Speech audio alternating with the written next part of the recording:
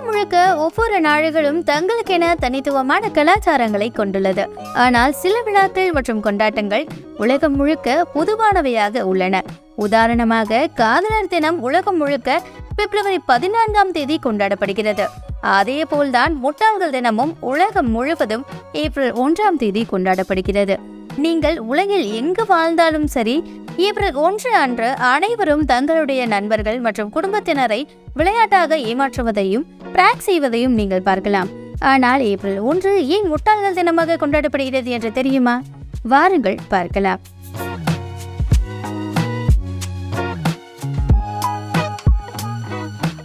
ஆயிரத்தி ஐநூத்தி அறுபத்தி நான்காம் ஆண்டு பிரான்சில் ஏப்ரல் முட்டாள்கள் தினம் தொடங்கியது என்று வரலாறு கூறுகின்றது. ஆயிரத்தி ஐநூத்தி அறுபத்தி நான்காம் ஆண்டுக்கு முன் ஏப்ரல் ஒன்றாம் தேதி புத்தாண்டு தினமாக கொண்டாடப்பட்டது.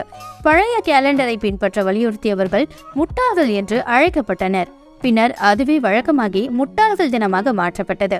மேலும் அந்த நாளில் ஒருவருக்கொருவர் நகைச்சுவையாக விளையாடுவதும் வழக்கமாகிவிட்டது.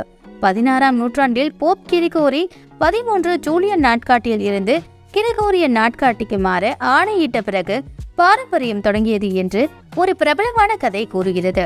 அதற்கு முன் ஏப்ரல் முதல் நாள் புத்தாண்டாக இருந்தது. ஆனால் புதிய கேலண்டர் ஆண்டின் தொடக்கத்தை ஜனவரிக்கு மாற்றியது. பலர் மார்ச் மாத இறுதியில் புத்தாண்டை கொண்டாடுவதை தொடர்ந்து கேலி செய்து வந்தனர். புத்தாண்டு ஜனவரி ஒன்றுக்கு மாறியதை அறியாதவர்கள் ஏப்ரல் முட்டாள்கள் என்று அழைக்கப்பட்டனர். பதினெட்டாம் நூற்றாண்டில் ஏப்ரல் ஒன்று முட்டாள் தினம் பிரிட்டன் முழுவதும் பரவியது. பின்னர் இது ஸ்காட்லாந்திற்கும் பரவி கொண்டாட தொடங்கப்பட்டது. அங்கு இது இரண்டு நாள் நிகழ்வாக மாறியது. இந்த கொண்டாட்டத்தில் மக்கள் வேடிக்கையாக விளையாடினர் மற்றும் போலி வாள்கள் மற்றும் கும்புகள் பொருத்தி கொண்டாடப்பட்டது. ஏப்ரல் முட்டாள் தினம் என்பது நகைச்சுவை மற்றும் தந்திரங்களை விளையாடுவதற்கு மட்டுமல்ல சுற்றுச்சூழலில் நேர்மறையை ஊக்குவிப்பதற்கும் கொண்டாடப்படுகிறது. சமீப காலமாக நீங்கள் யாருடனாவது அதிருப்தியில் இருந்தால் அந்த நபரின் முகத்தில் ஒரு புன்னகையை வரவழைக்கும் சிறிய நகைச்சுவை விளையாட்டை விளையாட வேண்டும். இந்த சந்தர்ப்பம் நண்பர்களை ஒன்றிணைக்க உதவுவதாக கருதப்படுகிறது.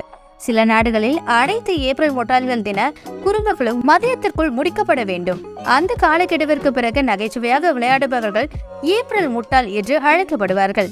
வட அமெரிக்காவில் இந்த பாரம்பரியம் பொதுவாக கடைபிடிக்கப்படுகிறது. இத்தாலி பிரான்ஸ் மற்றும் கனடாவில் பிரெஞ்சு மொழி பேசும் பகுதிகளில் ஒருவரது முதுகில் காகித மீனை அவர்களுக்கு தெரியாமல் ஒட்ட முயற்சிப்பது ஒரு பிரபலமான பாரம்பரியமாக இருந்து வருகிறது. இந்த நடைமுறை பாய்சன்டி ஆப்ரன் அல்லது ஏப்ரல் மீன் என்று அழைக்கப்படுகிறது.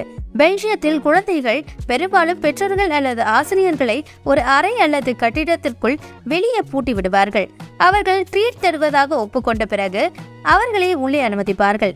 இப்படி பல நாடுகளில் பலவிதமாக கொண்டாடப்படும் இந்த முட்டாள்கள் தினத்தில் நீங்களும் மற்றவர்களை ஏமாற்றி நேர்மறையான சந்தோஷத்தை வெளிப்படுத்திக் கொள்ளுங்கள். இந்த வீடியோ உங்களுக்கு பிடித்திருந்தால் இந்த வீடியோவை லைக் பண்ணுங்க கமெண்ட் பண்ணுங்க ஷேர் பண்ணுங்க. மறக்காம திஸ் இஸ் தமிழ் யூடியூப் சேனலை சப்ஸ்கிரைப் பண்ணுங்க.